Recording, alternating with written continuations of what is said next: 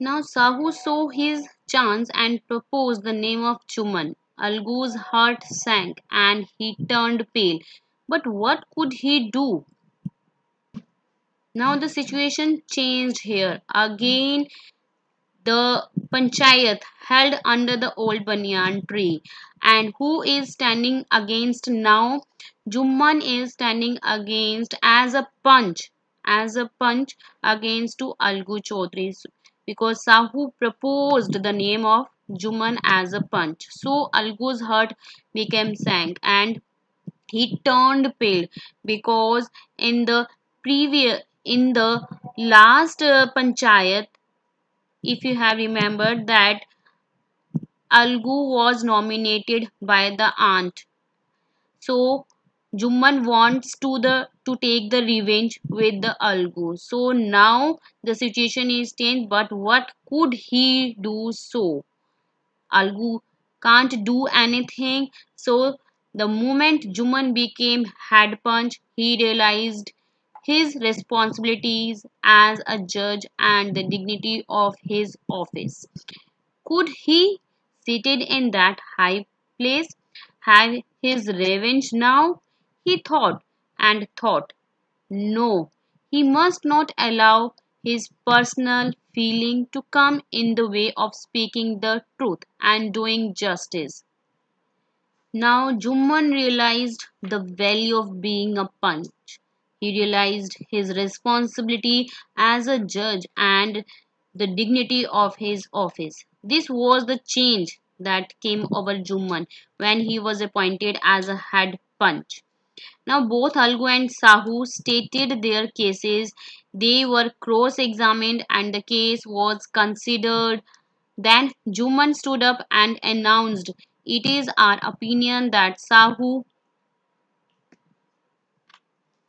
should pay Algu the price of the bullock.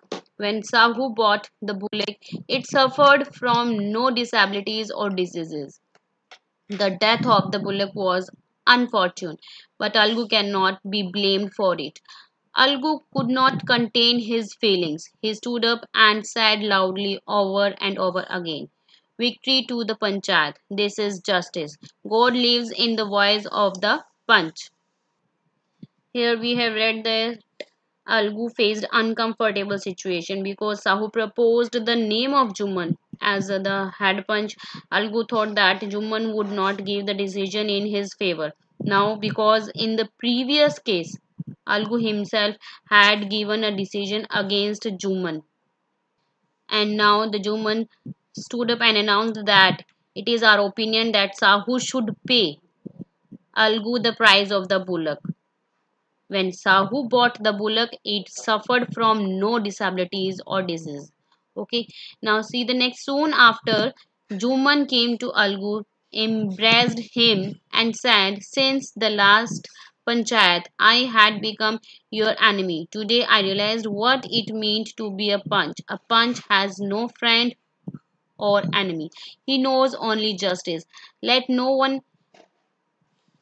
deviate. Deviate means move from the path of justice and truth for friendship or enmity. Algu embraced his friend and wept. His tears washed away all the dirt of misunderstanding between them. Now finally, Jumman announced that Sahu will pay the amount of bullock to Algu. And now Algu became very happy that and over and over and over again he'll speak loudly that victory of the panchayat. This is justice. God lives in the voice of the panchayat. Why? Why? Because the voice of the panch is the voice of god.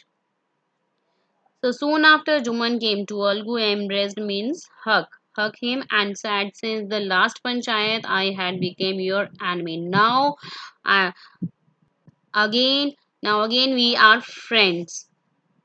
Here, what's the moral of the story? Uh, the this story also uh, convey a message that always walk on the path of justice and truth. So if you want to see the other parts of uh, the summary,